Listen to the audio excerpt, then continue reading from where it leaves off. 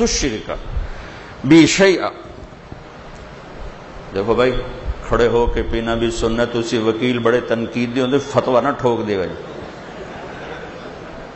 چونکہ یہاں بیٹھ کے پینے کی مجال کوئی نہیں۔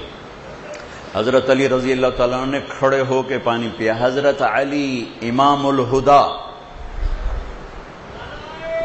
بھائی، نعرے نہ لگا، نعرے نہ لگانا نعرے نہ لگانا او میرے بھائی، نعرے نہ لگانا یوں پانی پیا؟ کھڑے ہو کے پھر فرمایا، میں نے اللہ کے نبی کو دیکھا، یوں پانی پیتے ہوئے۔ اچھا اللہ کے نبی کہہ رہے ہیں، بیٹھ کے پانی پیو۔ تو اس میں جوڑ کیا ہے؟ اس میں جوڑ یہ ہے، جہاں بیٹھنے میں آسانی ہو، کھڑے ہو کے نہیں پینا چاہیے۔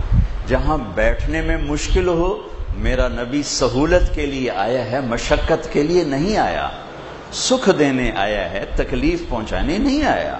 یرید اللہ بکم السر ولا یرید بکم العسر۔ میرا رب کہہ رہا ہے، میں تمہارے لیے آسانی چاہتا ہوں، تنگی نہیں چاہتا۔ تو میں نے اس لیے یہ کہہ دیا کہ ایک تو ہمیں دین کا پتہ نہیں، دوسرا یہ کہ ہمیں احکام کا وزن کا نہیں پتہ کہ یہ مستحب چیز ہے۔ اور اس کا تعلق صحت سے ہے، شریعت سے نہیں۔ میرے نبی نے کہا، تین سانس میں پیو۔ کھڑے ہو کے نہ پیو، یہ حلال حرام کی بات نہیں۔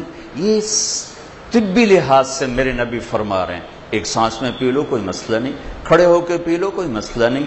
کوئی گناہ نہیں۔ بیٹھ کے پیو تو آپ کو اجر ملے گا۔ اور جہاں میں کھڑا ہوں، یہاں بیٹھنا تکلف ہے۔